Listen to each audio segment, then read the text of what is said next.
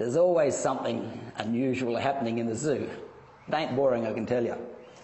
Got a one metre long brown snake here, the second most deadly snake in the world, that somehow squeezed through into the Thai cobra cage, and they're the most deadly snake in Asia.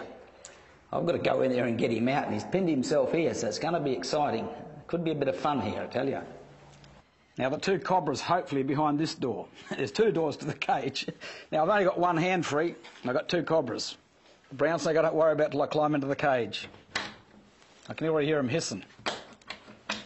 And the thing is, once I open the door, I'm trapped here with them. There they are.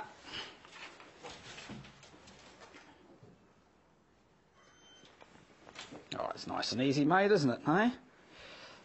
Shh, that's good. Oh, that was easier than I thought. One of the reasons probably is because it's still a bit cold this morning. There he is, hissing away. Look at him, eh? That's the most deadly cobra in Asia. Ah, that's good, lads. That bit was easy. Yeah, I'm trapped in here about one metre square if I'm lucky, and they're very fast. Oops, there he goes. Now, I've just grabbed his tail. Oh, look out, there he comes. Even though he's not a really big one, he still packs a punch.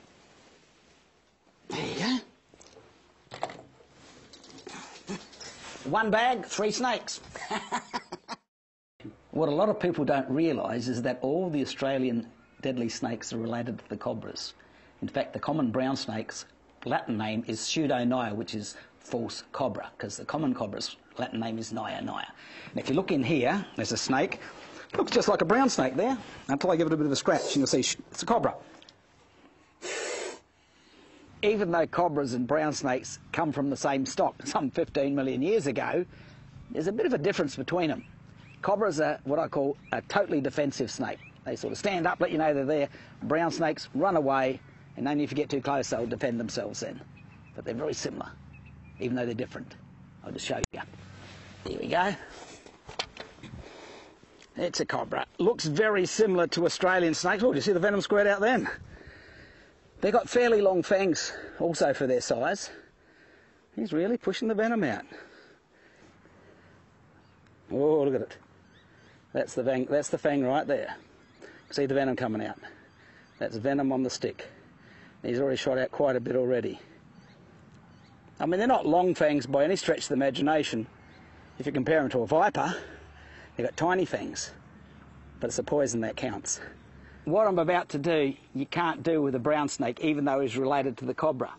If I come over the top really, really gently, he can only actually strike flat forward, basically. So if I touch him on the back of the head like that and push him down, can push his head to the ground, pin him down and pick him up. Now that can't be done with a brown snake. Kids don't do this. this takes years of experience. What I've got here is a little brown snake, distant cousin to the cobra.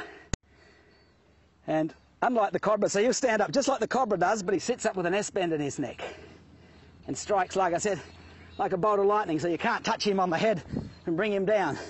They're much more lively than the cobra, always trying to escape unless they've got no escape, then they'll actually defend themselves.